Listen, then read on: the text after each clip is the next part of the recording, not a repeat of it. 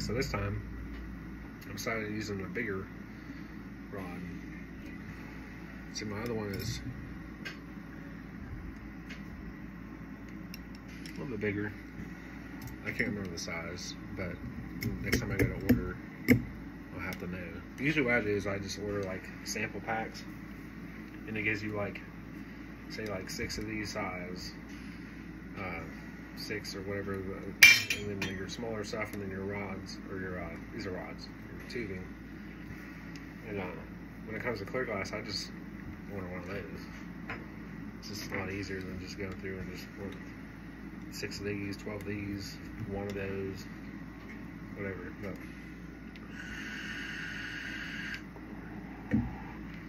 now with thicker glass, you need more heat.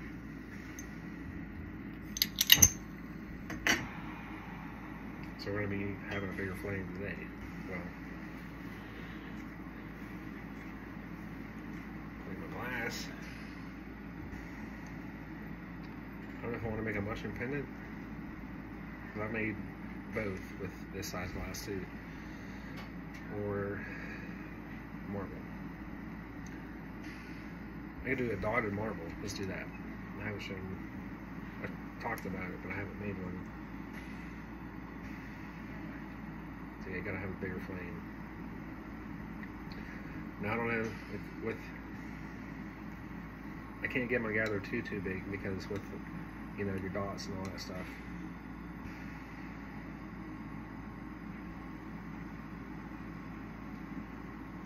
and then you add your clear glass over that, it starts getting big, and uh, that's how you get. That's how uh, whenever it's cooling, it breaks. Actually, let me go ahead and move this other stuff off my molds. Yeah. Gotta think ahead.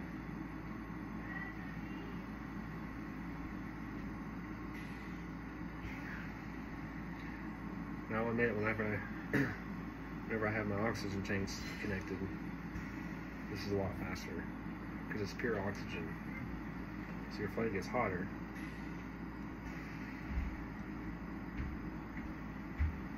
And like your little flames, the tiny little fingers, whatever you want to call them, are a lot more detailed. This, this, they're a little, a little lesser.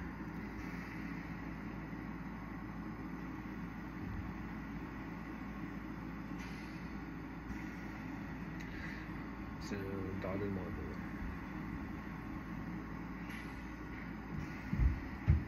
I'll do like peach. That's basically what you want. Start adding dots to it.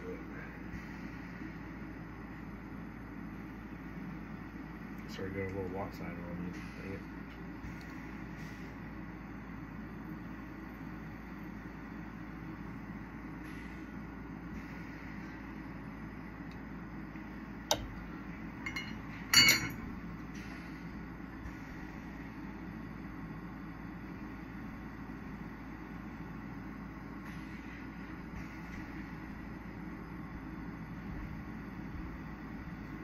There we go. Straighten it back out. Basically, anytime this glass is orange, you want to just be spinning it. I just, like, second nature to spin glass you know if it's not hot. Sometimes. Now since you're doing your dots, turn the flame down. I was just up this, you get bigger.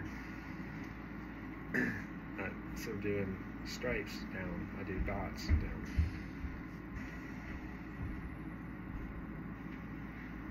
Kind of like with uh,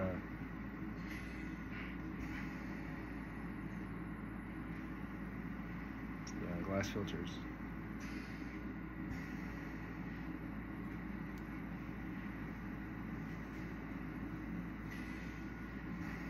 So there's one. That's one row. He's gonna go all the way around. Unless you want to change the colors, but this is roll with this.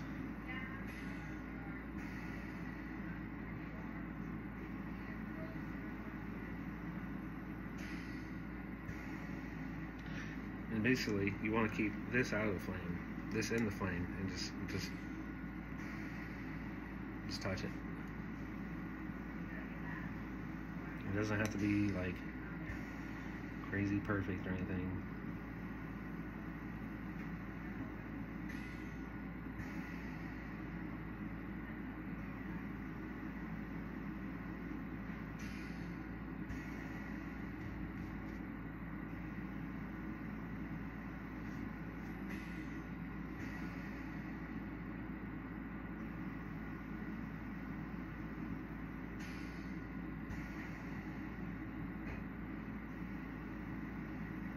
It's really good. Looks like a medieval wrecking ball or something. But with the stripes, same for just not all that together. You actually don't want to go as much with heat, the heat.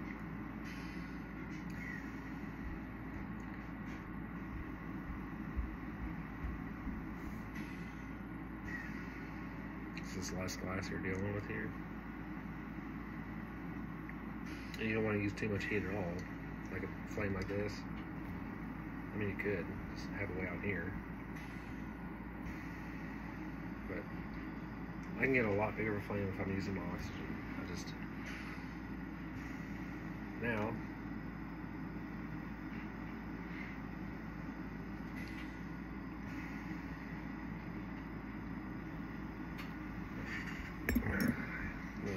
do what you did before.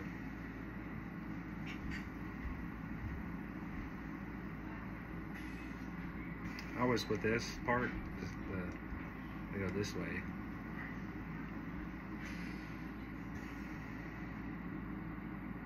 So it's easier a little bit. Trial and error, trial and error. Like, when I first started doing this, I was just watching videos and I just tried to do it and did what they did.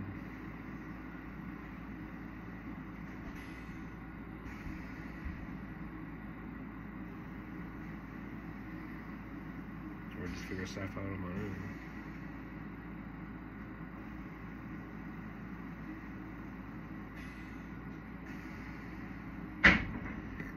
And you don't have to have this clear layer. I'd say, but I remember one channel I watched said that this is how you get depth to your colors rather than just being on the surface.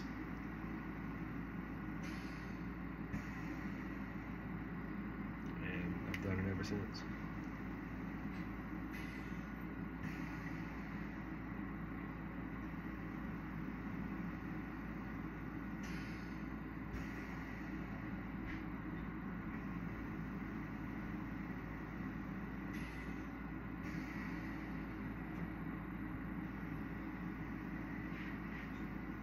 Pretty good. So that's what we're now. Another thing you can do, I made some pretty cool dotted marbles.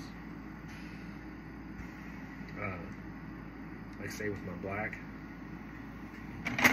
here, I'll melt down into a gather with this, and then completely cover everything with stripes. So it's like a black marble. Or you could probably just melt that down. And then dotted that and got some really crazy looking marbles. I actually made like a in my head it was like a sister and brother. It was like a black marble with one had blue dots and then one had green dots. I haven't named them or anything, but when I when I seen them together, it's just like, oh, like a little sister and brother thing going on. Takes a little bit longer.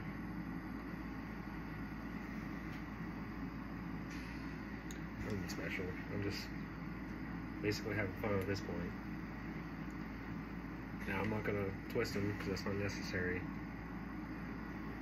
Although it might be interesting.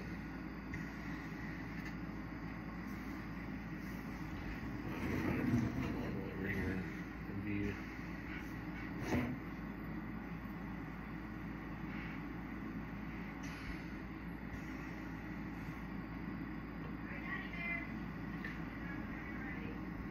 All right.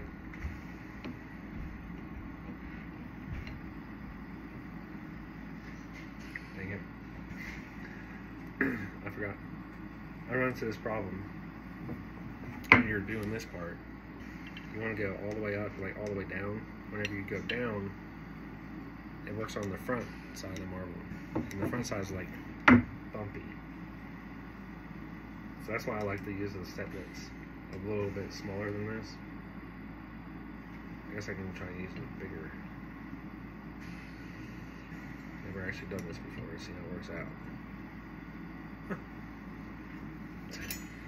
it actually worked. I've Never tried that before. Now, your punty.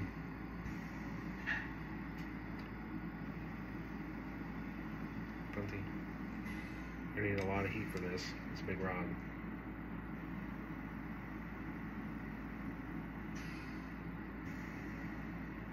Basically, it's done. This is the only. You make one of these, or I've made clear marbles, and make clear marbles like make a set. Let's play, you know, like jacks, or something. I've actually made a bunch of clear marbles for that. It's a lot of excess glass, so we're going to take it off.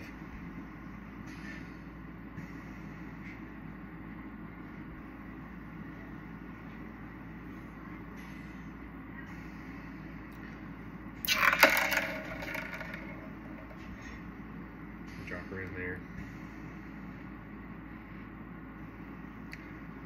I'm actually left-handed.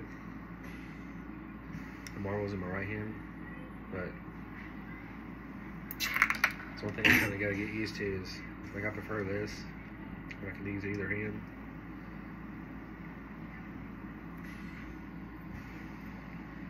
You definitely want it because you're using both hands. You gotta have the little millipede thing going. Maybe have both connected on both sides. This takes practice.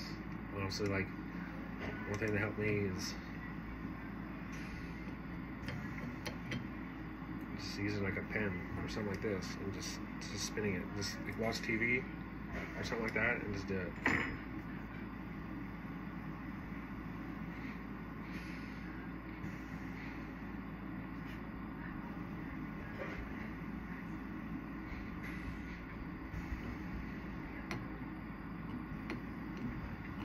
This one's not turning out very good right now. See, these are cheap marble molds. I actually got these off Amazon, but um, like Mountain Glass, they have like a lot better one. I'm sure there's other sites out there too, but Mountain Glass is who I go to. They're reliable. They have fast deliveries. You know, once it's on its way, you don't have to. I work shift, so like I don't have to stay up and sign for it or anything crazy.